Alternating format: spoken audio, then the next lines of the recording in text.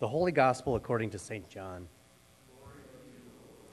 Today's reading Jesus heals a man born blind, provoking a hostile reaction that he regards as a spiritual blindness to the things of God.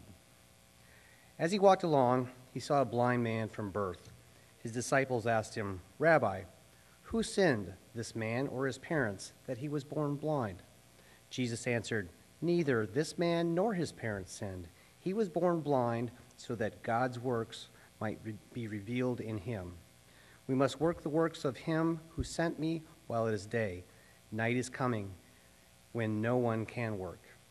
As long as I am in the world, I am the light of the world. When he had said this, he spat on the ground and made mud with the saliva and spread the mud on the man's eyes, saying to him, Go wash in the pool of Siloam, which means sent. Then he went and washed and came back able to see. The neighbors and those who had seen him before as a beggar began to ask, Is this not the man who used to sit and beg? Some were saying, It is he. Others were saying, No, but it is someone like him. He kept saying, I am the man. But they kept asking him, Then how were your eyes opened? He answered, The man called Jesus made mud, spread it on my eyes, and said to me, Go to Siloam and wash. Then I went and washed and received my sight. They said to him, Where is he? He said, I do not know. They brought to the Pharisees the man who had formerly been blind. Now it was the Sabbath day when Jesus made the mud and opened his eyes. Then, when the Pharisees also began to ask him how he had received his sight, he said to them, He put mud on my eyes, then I washed, and now I see. Some of the Pharisees said, The man is not from God, for he does not observe the Sabbath. But others said, How can a man who is a sinner perform such signs? And they were divided. So they said again to the blind man, What do you say about him? It was your eyes he opened. He said, He is a prophet. The Jews did not believe that, they, that he had been blind and had received his sight until they called upon his parents, the parents of the man who had received his sight, and asked them, Is this your son, who you say was born blind? How then does he now see? His parents answered, We know that this is our son, and that he was born blind, but we do not know how it is that he now sees, nor do we know who opened his eyes. Ask him. He is of age. He will speak for himself. His parents said this because they were afraid of the Jews, for the Jews had already agreed that anyone who confessed Jesus to be the Messiah would be put out of the synagogue. Therefore, his parents said, He is of age, ask him. For the second time, they called the man who had been blind. They said to him, Give glory to God. We know that this man is a sinner. He answered, I do not know whether he is a sinner. One thing I do know that, though is the though I was blind, now I see. They said to him, What did he do to you? How did he open your eyes? He answered them, I have told you already, and you would not listen. Why do you want to hear it again? Do you, all, do you also want to become his disciples? Then they reviled him, saying, You are his disciple but we are disciples of Moses. We know that God has spoken to Moses, but, but as for this man, we do not know where he comes from. The man answered, there, Here is an astonishing thing. You do not know where he comes from, and yet he opened my eyes. We know that God does not listen to sinners, but he does listen to the one who worships and obeys his will. Never since the world began has it been heard that anyone opened the eyes of a person born blind. If this man were not from God, he could do nothing. They answered him, You were born entirely in sins, and you are trying to teach us? And they drove him out. Jesus heard that they had driven him out, and when he had found him, he said, Do you believe in the Son of Man? He answered, And who is he, sir? Tell me, so that I may believe in him. Jesus said to him, You have seen him, and the one speaking with you now is he he said, Lord, I believe. And he worshiped him. Jesus said, I came into this world for judgment, so that those who do not see may see, and those who do not see may become blind. Some of the Pharisees near him heard him say this, say this and said to him, Surely we are not blind, are we? Jesus said to them, If you were blind, you would not have sin. But now that you say, We see, your sin remains. The Gospel of the Lord.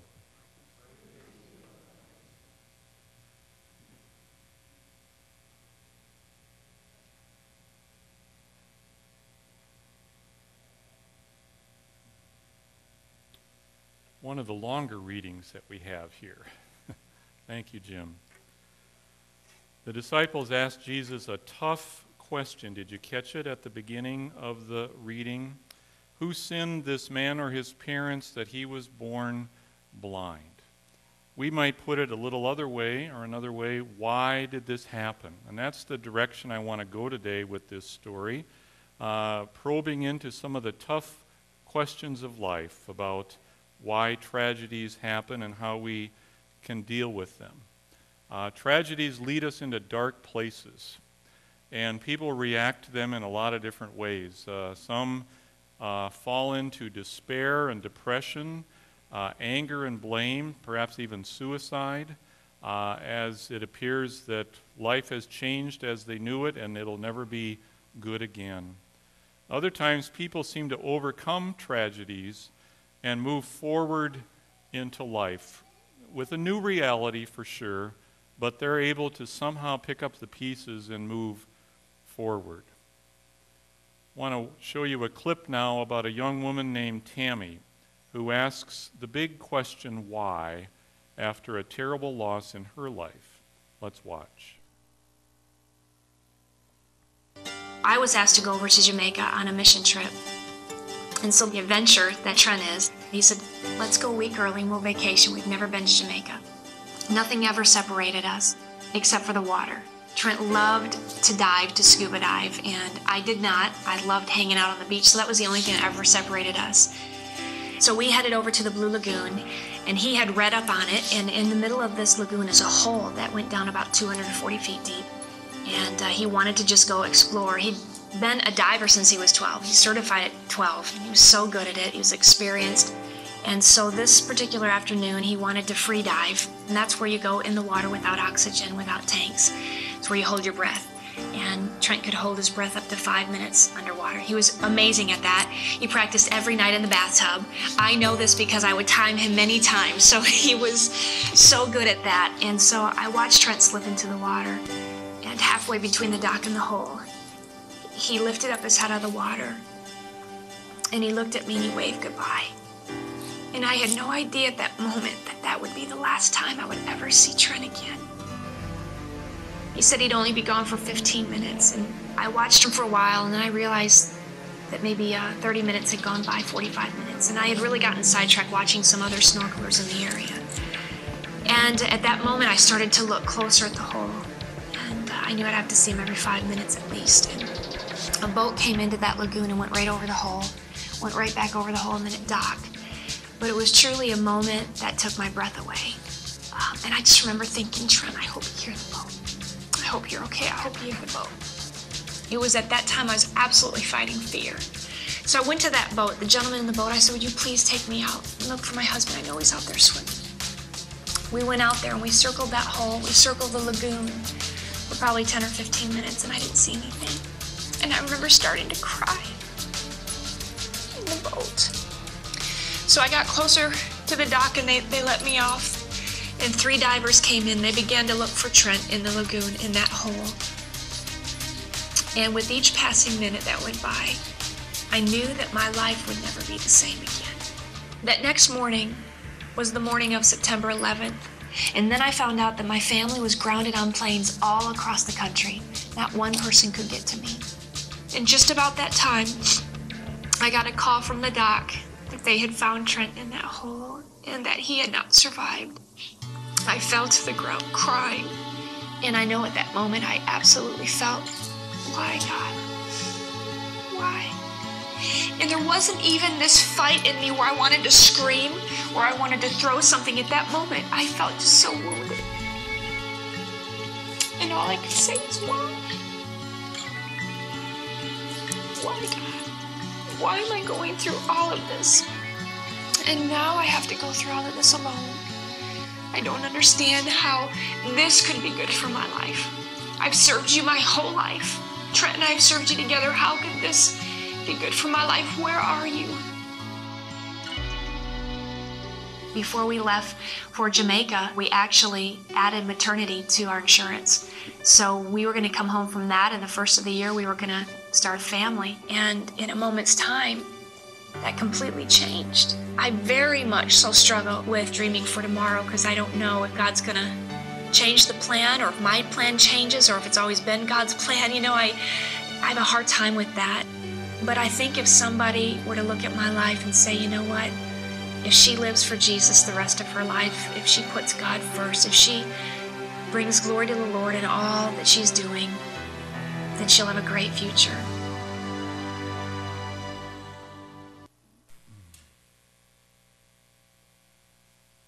Why?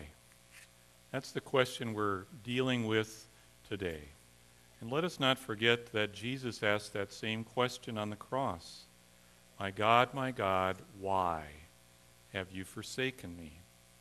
Why do things like this happen? Why are some people, as you saw on the screen with the image from 9 11, why are some people in the wrong place at the wrong time and pay the ultimate price? Or why do some people uh, die of cancer at a too young age while others live into their 90s or even 100? You ever ask these kinds of questions? If you haven't, you will. And many years ago, a rabbi, a Jewish rabbi named Harold Kushner, wrote a wonderful book called When Bad Things Happen to Good People. Uh, there's been many books written since then. Uh, you can go to any bookstore and find them. But I think this is a great passage on the screen. I'd like to just read that for you uh, because it speaks great wisdom into the why question. I don't know why one person gets sick and another doesn't, but I can only assume that some natural laws which we don't understand are at work. I cannot believe that God sends illness to a specific person for a specific reason. I don't believe in a God who has a weekly quota of malignant tumors to distribute, who consults his computer to find out who deserves one most or who could handle it best. What did I do to deserve this?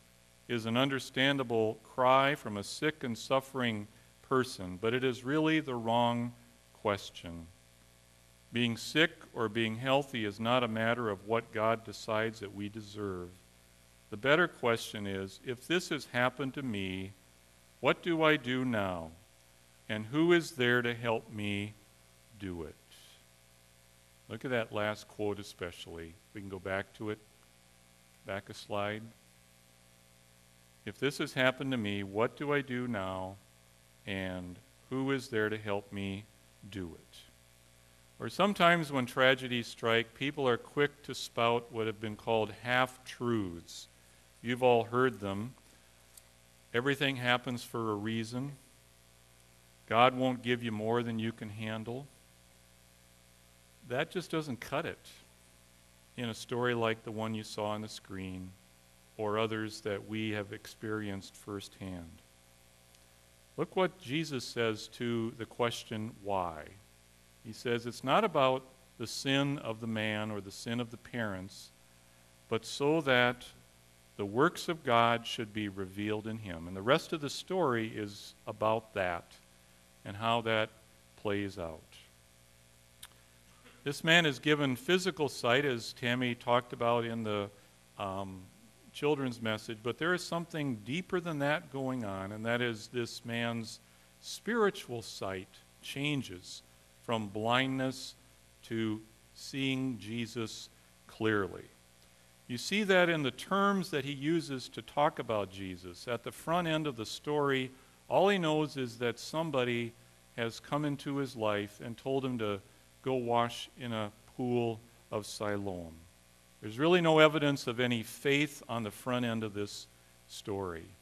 But as it moves along, he calls him a prophet as he gets into an argument with these Jewish leaders. Then he's a man from God.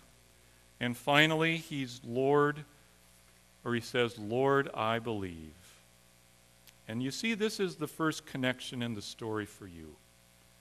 When you're a little baby and maybe you're brought to the baptismal font, you can't say, Lord, I believe. That is a long process. For some, it's fairly short. You know, I see all these little children over here in the kiddie section, right? By the exit sign.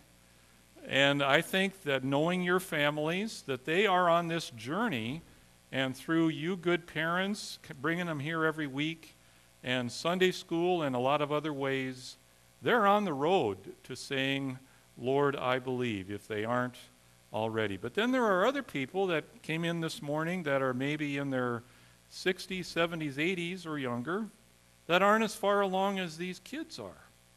That might say, yeah, Jesus existed. The history books say that. And I admire his wonderful teachings, the Sermon on the Mount. Uh, but beyond that, I'm not willing to go any further. They're not further along, much further than that blind man. There's another connection in this story I want to make, and it has to do with baptism. Uh, if you were to go to Rome, and I talked to some people after the last service who have actually done this, and they go beneath the streets to the catacombs, you will find some very interesting things. You'll find what looks like small chapels where the early Christians, I'm talking, you know, uh, 40, 50 AD, uh, just shortly after Jesus uh, rose from the dead, they had worship down in these catacombs below the ground, and they baptized people, and they uh, had communion. But the other interesting thing is you see these paintings on the walls of the catacombs, like this one. Somebody came to me after the last service and said, I saw that painting in a Roman catacomb. Uh, and it is the story that we are hearing today of Jesus healing. And it looks familiar, but for the last part on the right, that is meant to represent more than just the pool of Siloam. That is to represent baptism. And you see this quote on the screen from Tertullian, an early church father who said, uh, Happy is the sacrament of our water, in that by washing away the sins of our early blindness, we are set free unto eternal life. You see, these early Christians felt that they were blind spiritually until they were found by Jesus. Like this man in the story was blind physically until he was found. And now, as they came to be baptized on the eve of Easter, on Easter Vigil, it was as if their blindness went away and they could see. And the other interesting thing is this story that we have today was part of their new member course. Scholars have discovered that, that they, in this time, this time of year, they would study this very story. We're talking 2,000 years ago, studying this story and seeing themselves in this blind man. And finally, there's a third way we can relate to this story, and it's through what happens to this man after he comes to faith. Did you hear that? He is thrown out of the temple. He is thrown out of the temple, and Jesus finds him. And that happened a lot to these Christians who worshiped underground in Rome in these catacombs. Their families threw them out, their synagogues threw them out, their neighbors threw them out because they were daring to confess Jesus as Lord and not Caesar as Lord. And sometimes in our lives, that happens too, where our families are not at the same point in the journey as we are. You know, I think about these, these kids that have sung all morning and how, what, how they are showing you what matters in their life. And, and sometimes they are struggling with their friends in school, even their own families, perhaps, who aren't quite on that same place along the journey, and they are feeling rejected by them. Walking in the light isn't easy, then or now, but it is our call to follow this man who is the light of the world. Let us pray. O God, may you come into our hearts this day. May you put mud on our eyes so that we might see you clearly and say with this man that was once blind but now sees, Lord, I believe. Amen.